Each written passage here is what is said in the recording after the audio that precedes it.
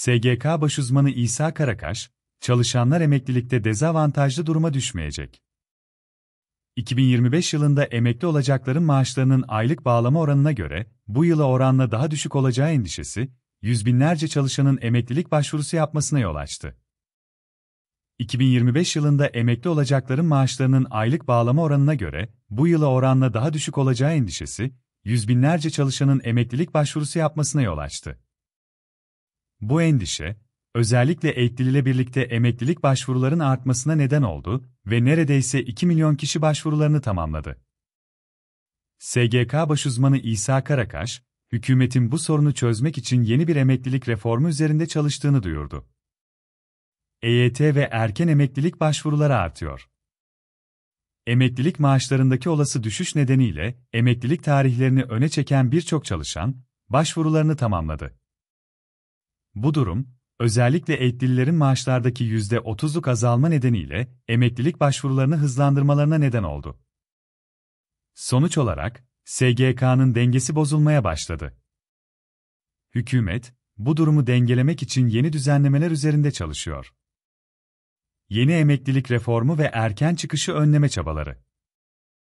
Sosyal Güvenlik Başuzmanı İsa Karakaş, hükümetin emeklilik parametrelerini gözden geçirdiğini belirterek, erken emekliliğin önlenmesi amacıyla yeni düzenlemeler yapılacağını ifade etti.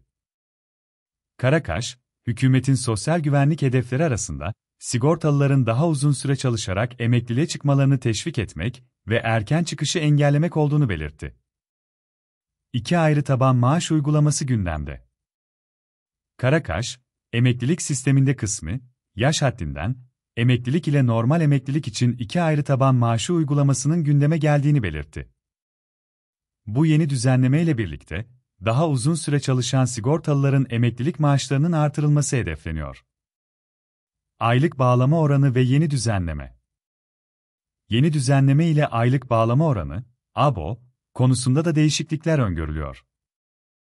25 yıl ve sonrasında yapılan çalışmalar için ABO'da ilave artışlar yapılması bekleniyor. Karakaş, bu değişiklikle birlikte sigortalıların e-emeklilik maaşı azalacak mı? İ endişesinin ortadan kalkacağını ve SGK'nın aktifi pasif dengesinin sağlanacağını vurguladı. Aktif, pasif denge ve sürdürülebilirlik. 2022 yılında 2,00 olan aktif pasif oranı, 2023 yılı itibarıyla EYT düzenlemesiyle birlikte 1,66'ya düşmüştü. Karakaş, yeni düzenlemelerle bu oranların daha da kötüleşmesinin önleneceğini, böylece sistemin finansal sürdürülebilirliğinin artırılacağını belirtti.